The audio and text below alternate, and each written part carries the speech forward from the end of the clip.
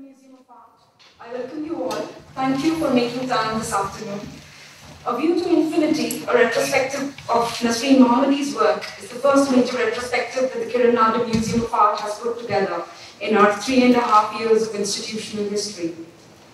Central to the exhibition is the KNMA's collection of 35 works of Mohamedi, and we are very grateful to all the lenders, individual and institutional, including the family of the artist, who were very kind enough to loan us Mohamedi's memorabilia. In its already four-month-long viewership, the exhibition has drawn great reviews, appreciation from the visitors, introducing many to Nasreen's aesthetics for the first time. Visitors to the exhibition have been very intrigued about the persona of Mohamedi and her life as an artist, looking at her comprehensive body of works together for the first time. It is a great pleasure that we welcome you all to the first collateral talk in the series around artist Nasreen Mohamedi's by Roobina Karode. This series puts forth certain questions and propositions. What are the possible means or methods of accounting and or measuring an artist's life? How important or insignificant is the biographical vis-a-vis an artist's body of works? Does artist's life produce witnesses? If yes, then recording of this shared duration can be as revelatory as well as, the function, as well as function as an acknowledgement and a recursive image in the current material time. Today's talk is one such method to address these questions. It phrases anecdotes and personal observations as a way of archiving and narrativizing an artist's life and works. So for those who don't know, Roobina Karode is the director and chief curator of Kiran Nadar Museum of Art and also the curator of this ongoing exhibition. Roobina Karode is an art educator, art historian, and curator with postgraduate specializations in art history and in education. She has been involved with the teaching of Western and Indian art history from 1990 to 2006 at various institutions, including School of Arts and Aesthetics, Jawaharlal Nehru University, the National Museum Institute, Delhi College of Art, and Jamia Millia Islamia University in New Delhi. Karode was awarded the Fulbright Fellowship in 2000 and was placed as a visiting scholar at Mills College in California.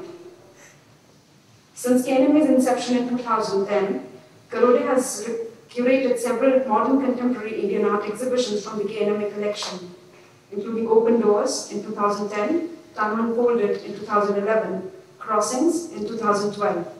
Her other curated exhibitions include Negotiating Matters, Excavation and Evocations, Himmat Shah's Terracottas, Sculptures, Living on the Edge, works of three contemporary artists, The Naked Line, and Pie in Paris. Karode co-curated a seminal exhibition titled Tiger by the Tail, Women Artists of India Transforming Culture in 2008, showcasing contemporary art by seven women artists of India at the Women's Studies Research Center, Brandeis University, USA. She has recently curated a major retrospective exhibition of the internationally acclaimed and US-based artist printmaker Krishna Reddy at the IGNC in New Delhi. She was also the co-curator of the first Fukuoka Asia Triennale in 1998 in Japan. As a critic, Karode continues to contribute thematic essays and reviews to art journals and the Art India magazine, she has written extensive monographs on contemporary Indian artists across generations and for cross-cultural collaborations. As Nasreen Mohamedi's student at the Faculty of Fine Arts, MS University of Baroda, and as her neighbor, Roobina Karode came to know Nasreen very closely through many interactions with the artist from 1977 to 1990. Having spent long hours at her studio come home, Roobina will be, today will be sharing the artist's persona with us through personal anecdotes and rare insights registered by her into the self-evolving discipline of Nasreen with regard to both her art and life. And also Roobina's talk today marks Nasreen Mohamedi's 14th death anniversary. June 3, 1968, on the train from Baroda, Nasreen wrote in a diary, hardly able to speak, struggling, digging inner energies, force, strength, and emotion without a word. Speak softly.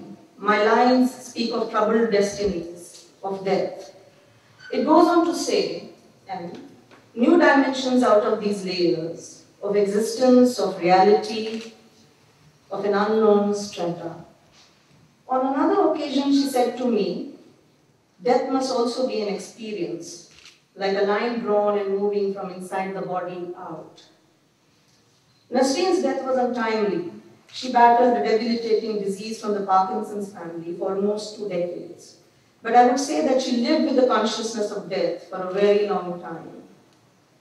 23 years ago, on this date, Nasreen Mohamedi passed on to a new life while watching the sea at Kihim, near Bombay, where she lies buried in her final maqam, or place of rest. It was a desire to be near the sea, keep listening to its rhythmic sound as she lay in peace. This is not unusual in the culture that Nasreen and I come from. If she was around at 76 today, she would, I imagine, be more or less the same. Elegant looking, gentle, wearing a mischievous wink, possessing a ready wit and a, and a sense of humor. Her capacity for living and her amazing zest for life was hardly diminished by her illness. Several people sitting here would recall her warm and welcoming gesture of greeting with open arms, generous with her affection, especially for her students. Nasreen's retrospective has intrigued hundreds of visitors. The elusive nature of her work and a relatively lesser known presence in the history of Indian art has evoked curiosity about the artist, wanting to read and comprehend her art and life as well. Though Nasreen hasn't been very visible, the few texts produced about her work are intense, profound, and informed, and these would unfold through the series of talks we have planned at KNM in the coming days. In my ongoing formulations, I am compelled to read Nasreen from and with her own context that does not preclude cultural and religious leanings, just as it equally includes other secular beliefs. Though not strictly a follower of Islam or a believer, she was a believer in the temperament of being philosophical. For me, it is equally compelling to share with you some of the personal moments shared with Nasreen in order to add to the truth of the image we have of Nasreen. So today, with all humility, I endeavor to elucidate how curatorial decisions with regard to the tone and temper of this exhibition have been formed through deeply personal experiences. One of the most privileged and at once challenging ways in which to curate is when you curate something very close to you, almost inseparable from your being, there's this predicament of having to constantly gauge the balance between proximity and distance, objective distance and emotional distance as well, which some has known, with something that has been known and experienced so intimately, needs to be astutely poised alongside ethics of caring and curating. One of the memories that remain impressed on my mind when I think of Nasreen is that of Nasreen on the street with us. Her students with her, with her, and she in a white impeccable cotton sari and a black garbage bag in hand, leading us to clear the grounding or the paths. Nasreen was fond of dressing up in elegant cotton saris and plain kurta churidar suits, oxidized silver ornaments, and apart from this, a penchant for cleanliness and yoga, and for yoga. I never knew that to follow some form of discipline. It was my first day to college, and we students walked to the foundation class of drawing. While all of us waited for, waited for her with our sketchbooks open and pencils sharpened, Nasreen took us out of the studio and assigned us the task of clearing the litter and the paths around buildings of the Fine Arts Faculty campus. It was extremely important to her that her students sharpen their attention and perceptions of the phenomena around. After almost 30 years, I can almost see that as the central premise of her art and practice. Her work was, I believe, about clearing the path, creating a space for the expression of a clear vision, and allowing for a view to infinity. Drawing was not simply a craft or a skill to be imbibed. It was not just about learning to draw, but learning to see.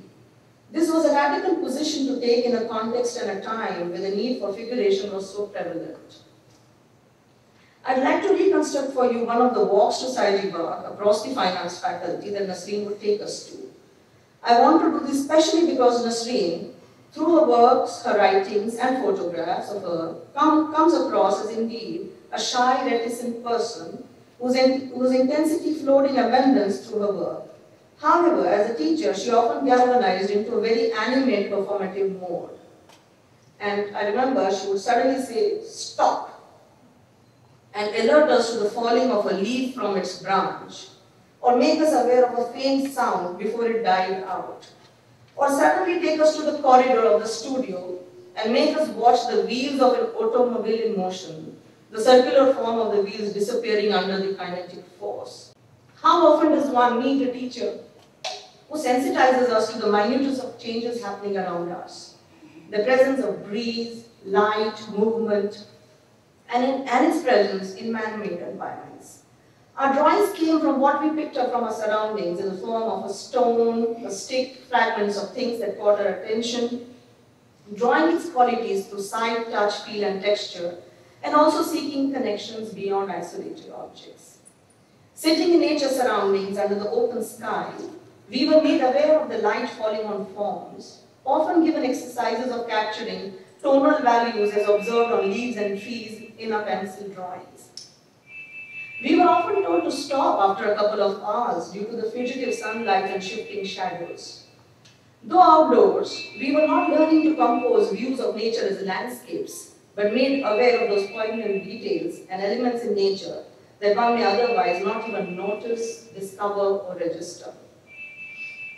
Another of Nasreen's students, Nina Sabnani, says, draw from within our own resources and from experience that life provides.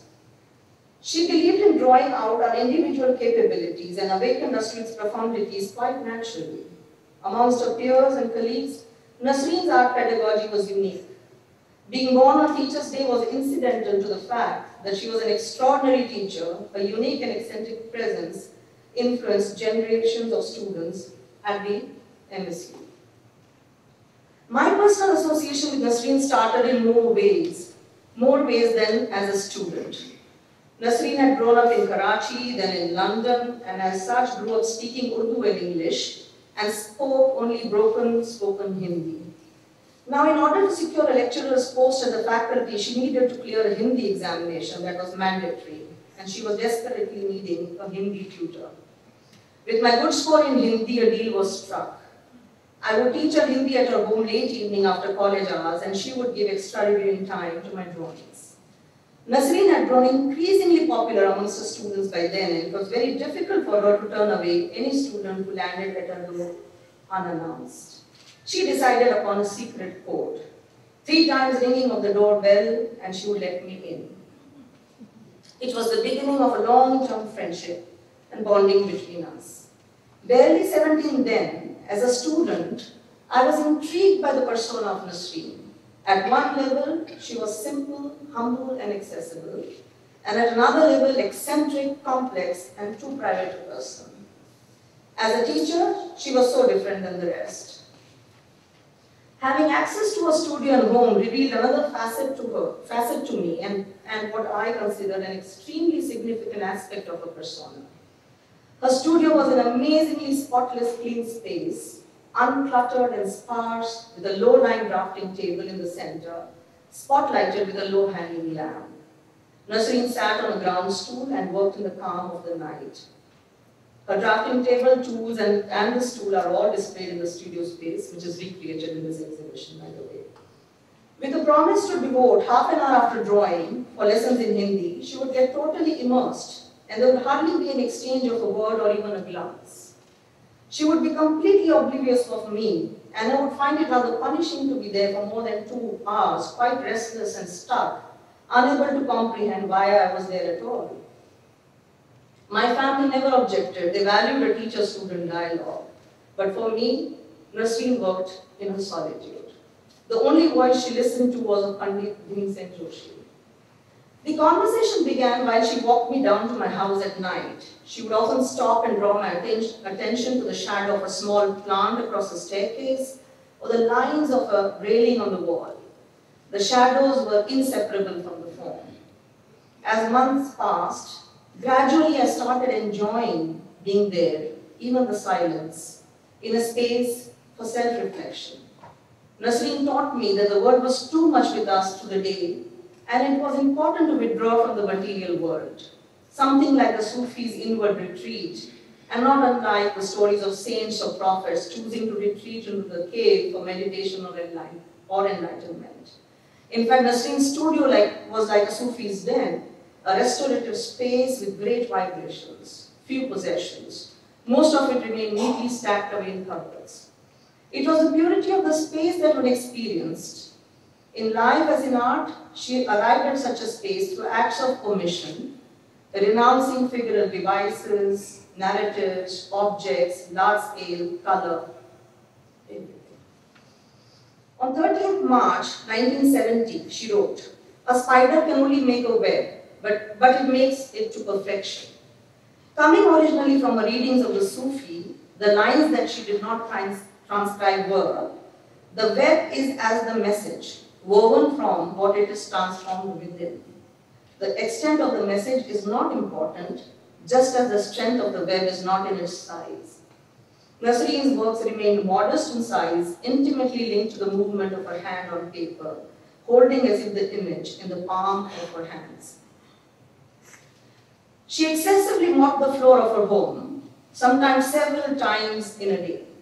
The daily rituals of cleansing the floor was a prerequisite, almost in the manner of the rituals of ablutions or acts of cleansing before each prayer is offered to connect with the unseen. She probably could not get rid of this obsessive compulsive streak in her. But in a way, this worked in favor of the practice as acts of preparedness for her self-rewarding discipline with regard to both her art and life. She often talked about emptying the center.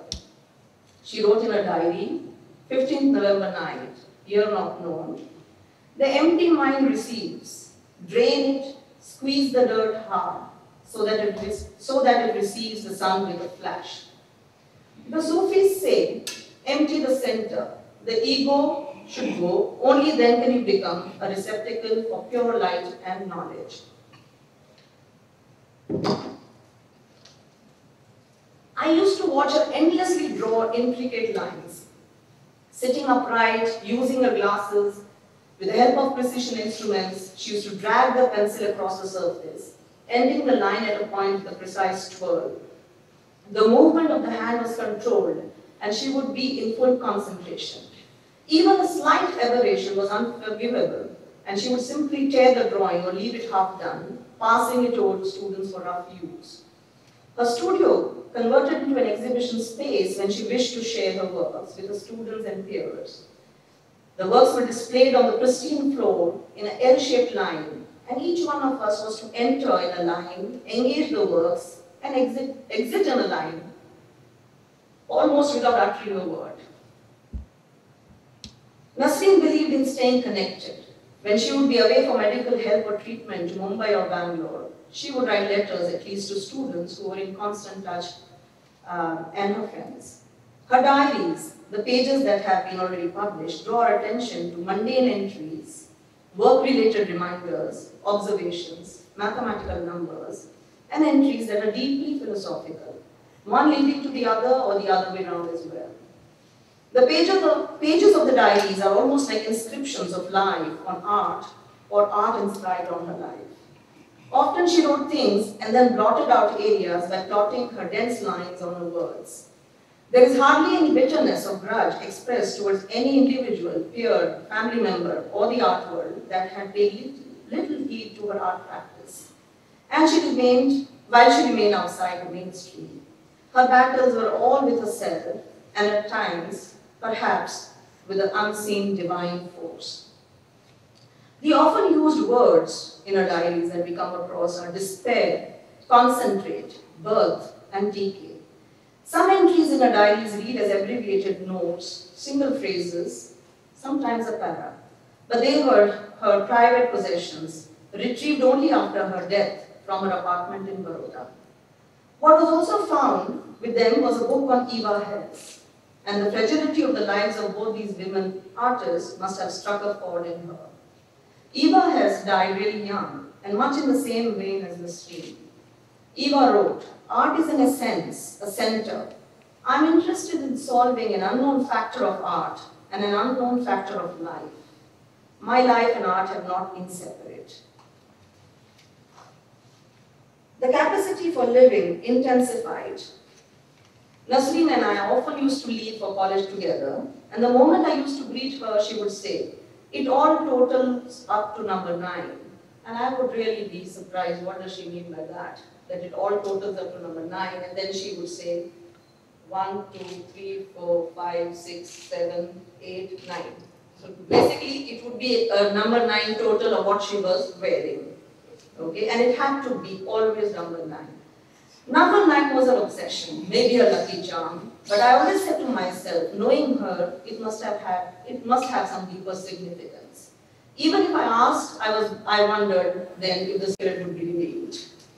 Let me tell you more about the significance of the number nine for her. Like friends do, we gave each other books.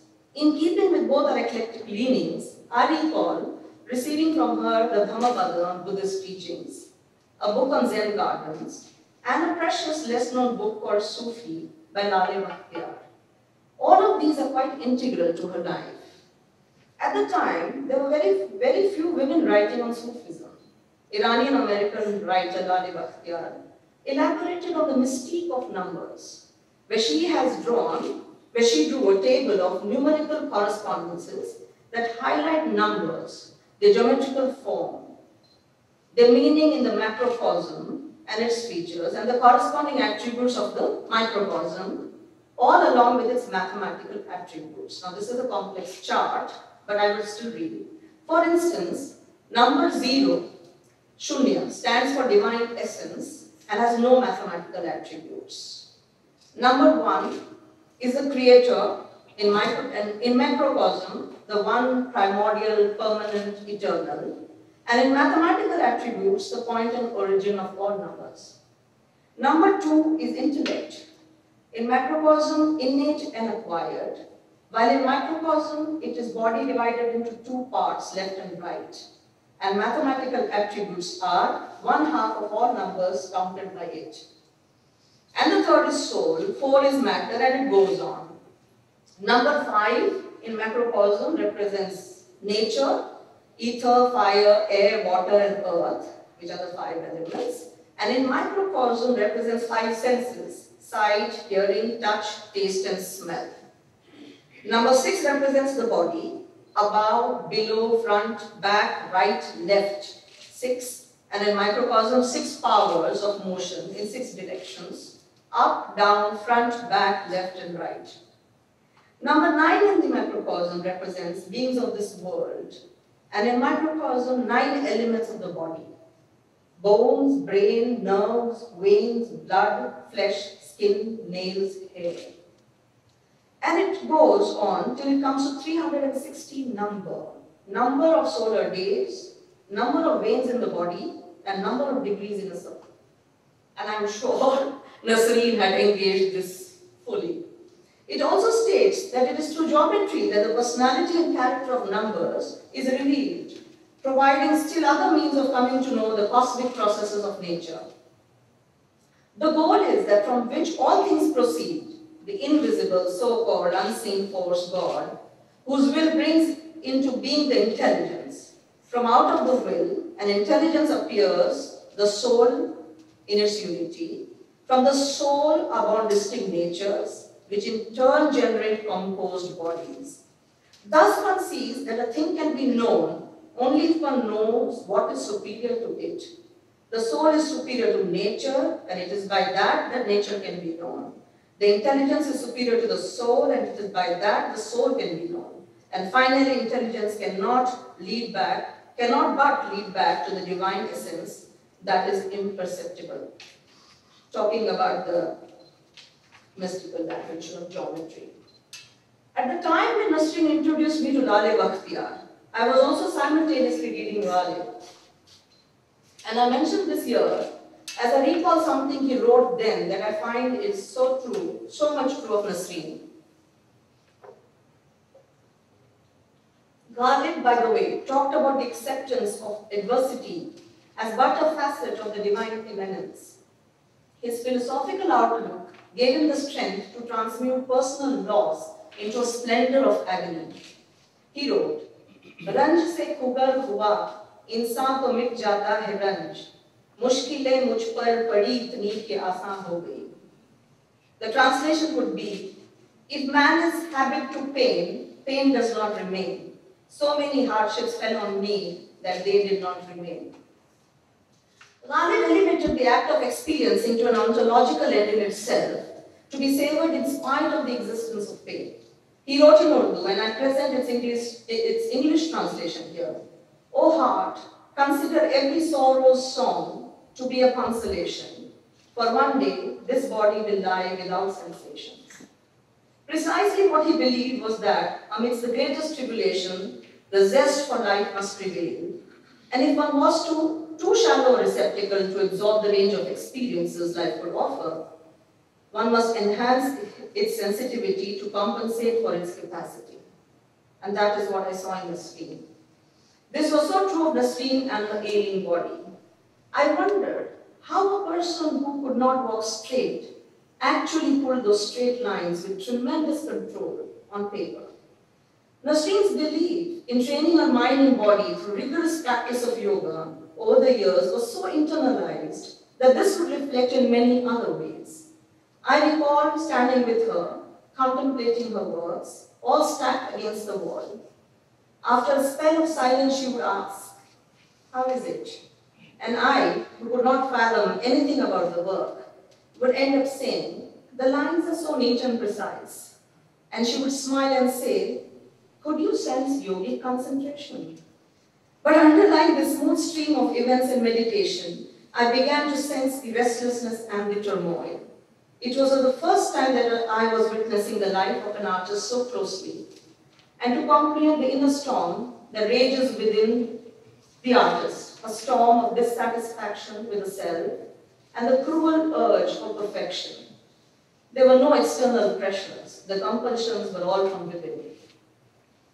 For Nasreen, the pain and the soul both countered and was redoubled due to her bodily afflictions. The twitching of the mouth and the involuntary shaking of her limbs had taken away control, had taken control over her body. Her composure and elegant demeanor was now slipping away, with signs of pain, prolonged exhaustion becoming more and more visible.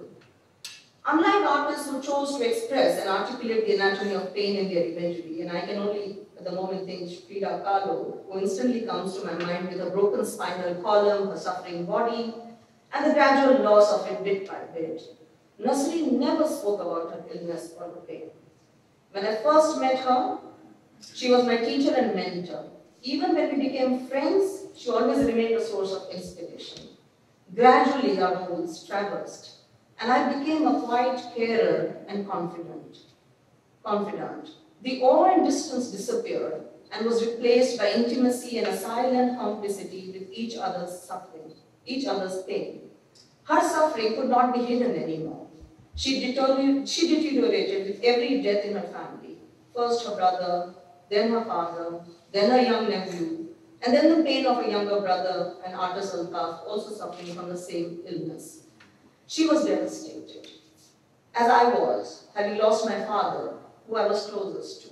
I recount the letter she wrote to me then from Bombay. She said, even storms have their own functions to perform. Nasreen hardly ever spoke directly about her work. She would bring forth her reservations about the word abstract and whether art could ever be abstract. It cannot happen ex nihilo and in a vacuum. And because of Nasreen's total absorption of, absorption of herself in her work, one reads the work as one reads the person, much in an archetypal manner. This is, it was also that what I, what I felt the strongest was that there is some connection with this belief in the unseen that comes into, into our orientation in Islam much in our formative years. That you start articulating the unseen, you start connecting with the unseen, you start believing in the unseen. The absent one as present everywhere. This becomes something that you live with. There is a relationship of receiving the unseen through invocation, incantation, repetition. Hence, there is an interesting relationship that is built between the manifest and hidden in all aspects of life and living. the Sufis believed that the notion of the cosmos was that it was both, both manifest and hidden, both known and veiled. The mundane and everyday must lead to a higher state of consciousness. All realization has to happen through the manifested world. The physical body is just a tool to be readied for a spiritual ascent, where the material body can be left behind and one can almost exist without it. Nasreen's commitment to abstraction is inspired by spiritualities as much as it is inspired by Kandinsky, his thesis on the spiritual in art, by Mondrian's world based on theosophy, the vertical and horizontal forces, the manner which is ethereal and floating world that professed an ascent from the ground, and in fact, a line from the Upanishad that she would quote, the eternal cannot be grasped by the transient senses or the transient mind. All of these align themselves a non-representational ethics and aesthetics. From the very beginning of, from the very beginning, the orientation to Islam is to the belief in the unseen. In the absence of an externalized form, abstraction becomes the means of articulation. And one articulates through numbers, geometry, invocations, attributes, qualities, incantations, reverberations. The notion of the cosmos is that it is both manifest and veiled. The seeker has to move from sensible forms to intelligible forms. It is to the mundane and everyday that these higher states of consciousness are attained. Death in Islam, or in its Sufic interpretation, is also a celebration. Both the veiling and unveiling. For when one is veiled from the mortals, one is unveiled to the unseen. I end this presentation with reckoning, with reckoning something that occurred in one of my visits to the area. As it happened, I was with Nasreen then, though this is not so pertinent to what I am going to recount.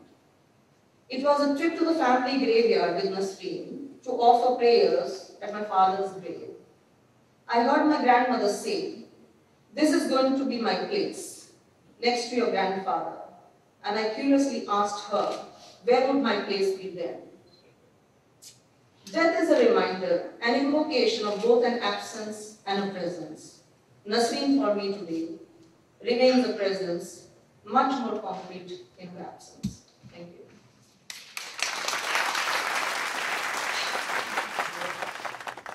I am one of the many students which Nasreen was great, uh, she was not a teacher only, she was a mentor, guide, everything. You would confine everything to her. We were like babies when we entered uh, Baroda and she, we were like babies in her lap all around. As she mentioned, she used to make us clean floors and studios and dormitories and everything. We didn't know, we used to get a little irritated, but later we came to know how much she was making us close to the environment and many, many, many personal experiences one has with the Baroda, with the Nasreen, as every student has. I remember once that uh, while teaching drawing, that we, we, we had, she, she would never argue, she would be silent. Then we had some kind of argument. Next day I didn't come to faculty or some other reason, but she reached the uh, hostel, SJ Hall 106. Means it was like shocking that Nasreen was like that.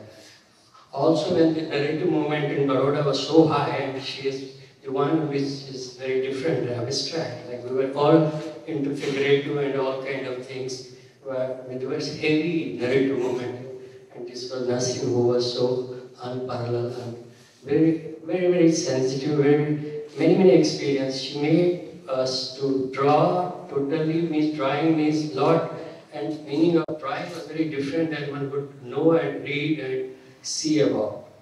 I remember taking me and many of us to Kamati Bagh at museum would make her to sit there for months in that heat and we visit every time mornings 8 to 12 she would twice she you visit till you finish and learn that perspective and each detail of that museum. It took months to learn, but she will be so persistent. That's what Nasreen. Nasreen Nasreen was like motherly, Nasreen was, well, whatever problems you have, confide to her. And the answer will be there with the silence and she. That's what many, many things one tries to remember, but it's wonderful to be her student.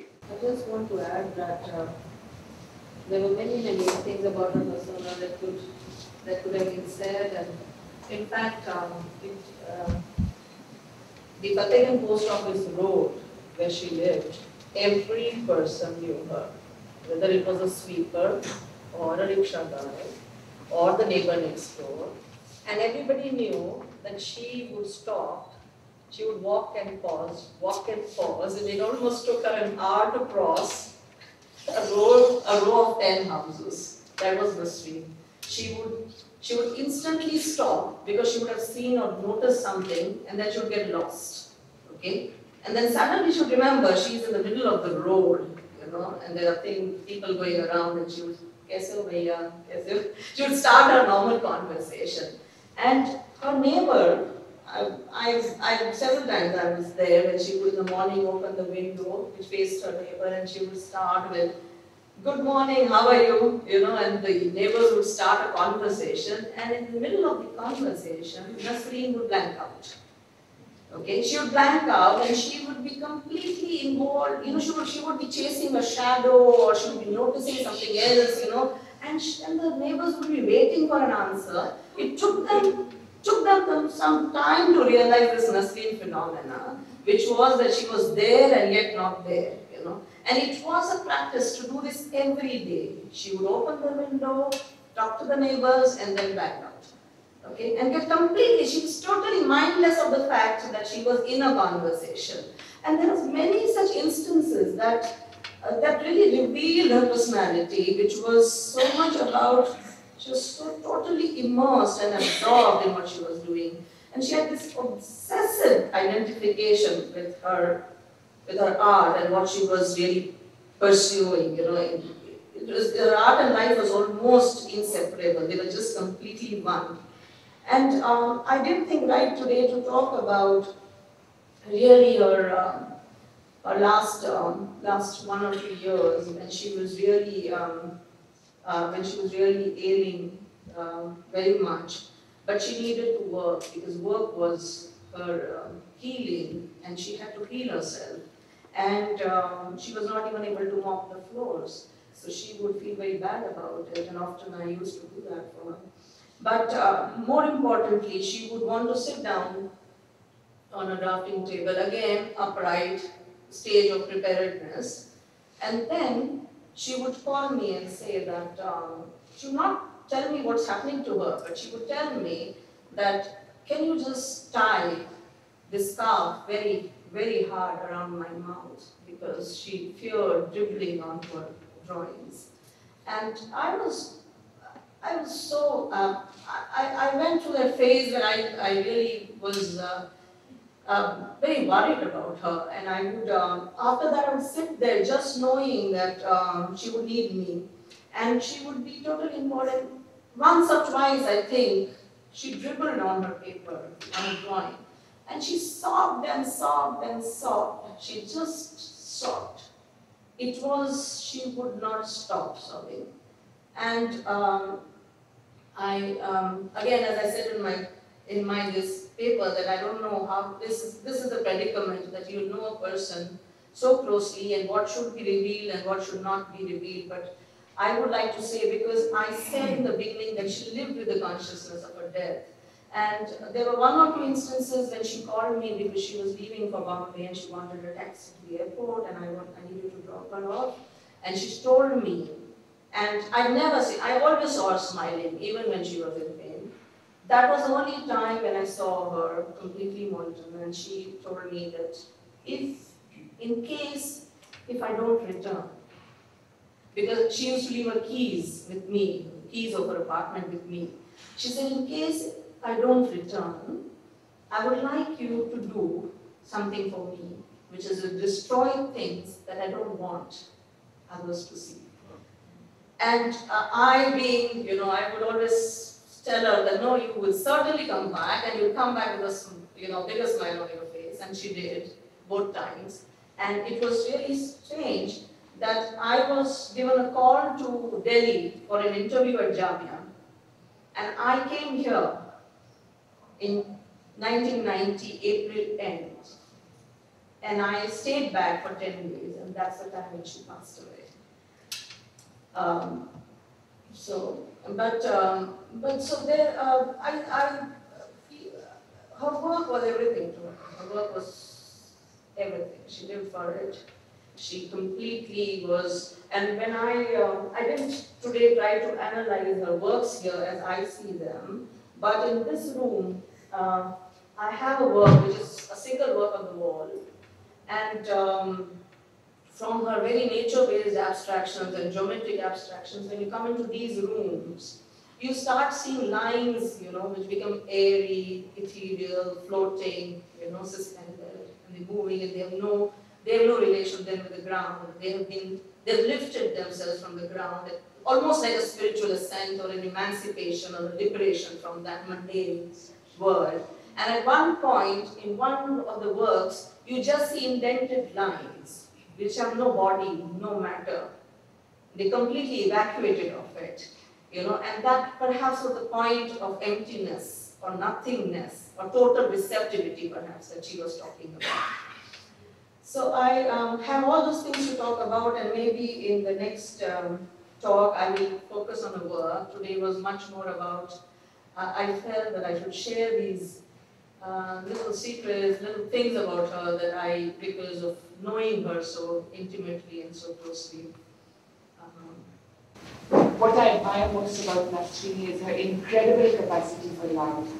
Um, it seems that I don't know anybody who knew Nasri who doesn't feel that they had that one special relationship with her which nobody else had. Absolutely. We all feel I was closer to her than anyone else could possibly be. And I think this is just, uh, you know, just one way that Nasreen expressed herself, this incredible capacity for love. And I think for each one of us who knew her well, there, there's a story, there's a story to tell. Mine perhaps is a very harsh one. Um, I used to sit with Nas- Nasreen while she drew. And we, we again became very close because she was never my teacher. I was in Baroda, she never taught me. Uh, while Nasreen was drawing and her lines were becoming elliptical, Yes. I would tell her, Nasreen, don't let it become a circle because when it becomes a circle, you'll die. And she Ah. would she would tell me, you're a bad girl.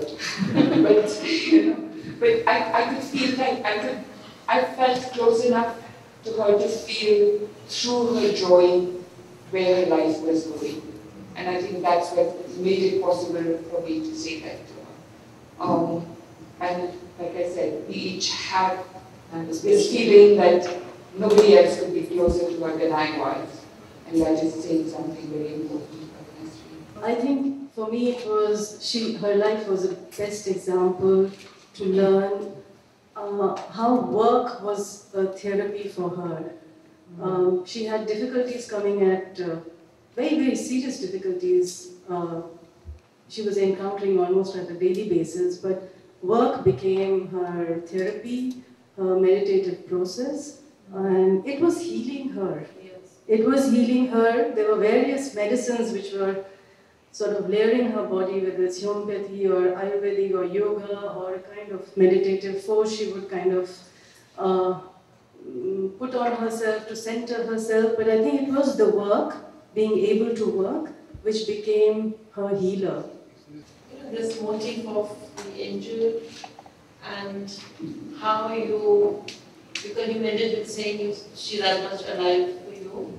I was wondering if you wanted to build on that and share with the audience what you told me about uh, this, when, you think about death and about how it happens uh, when, when one is buried. Yeah, I think that um, death is quite an elaboration in Islam, actually, because um, in the way that things are done, you know, it's it's much more uh, a grand procession than what what marriage would entail.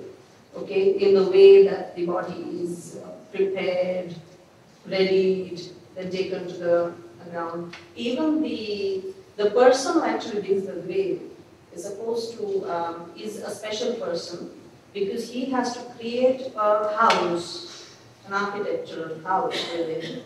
And um, unlike what Hindi movies show that you just go down like this, is actually cut on the sides, okay? And the space that is created is for the for the dead to be, there should be at least that much space that the dead person can sit up and be in a conversation with the angel. Okay, because the idea is that once you leave the material world, this mortal space, you are then visited. Okay, and you are in dialogue and conversation when in the grave. Okay, and that is also the reason why when you visit graveyards, there's this whole notion you never you never tend to forget that there is this is the place where the person is invisible and yet there. Okay, and in the in, in Sufism, there is a celebration when a Sufi dies. The place that he dies, the den or the space that he dies, is turned, is turned into almost like a wedding place. For the simple reason that they say there are 70,000 veils between here and there. Okay? And the Sufi talks about that these veils are, you know, basically 70,000 70,000 veils between light and darkness till you reach that. Okay? And the and you know the Sufi takes on the journey to keep unveiling till he comes to the state where there is only just a parda, they say, a veil between you and the creator. And when that unveils, you become one. Okay, so unveiling and veiling is an extremely important, uh, what to say, it's a, it's a very important premise in Sufism. And this whole thing about visiting the graveyard, living, you know, your, your, the living is with the dead, okay, and it's almost like you live with it so that you, you are always conscious of it and you always remind, reminded of this separateness from the, from the divine essence. You live with this separateness okay? And you overcome it also. It's one way. So there is a very, there are very interesting things when you really talk about this dimension in both in Islam and in its, uh, in its Sufi principle. And um, when I told about, um, when I talked about Nasreen, Nasreen had these, like, like Sasha just said, this whole idea of that fascinating is a fascination that is forever. And um, there were several instances when she did invoke this in different ways. And it was not at all, uh, it was not at all gloomy. The conversation was not at all gloomy. It was not about uh, the, so much the fear of death. It was not so much about the fear of death. To just uh, to end on a happy note, I must say that every time that I go in these rooms, I, I experience Nasreen. I feel that she is, she is there. Because every time I look at something and I'm reminded of some conversation or the other, and almost when I'm looking at her or in her studio sitting there alone and listening to Bhimsen Joshi and I'm, I'm reminded of the first time when I sat there and I was thinking, what do I do here watching, watching her? Thank you very much.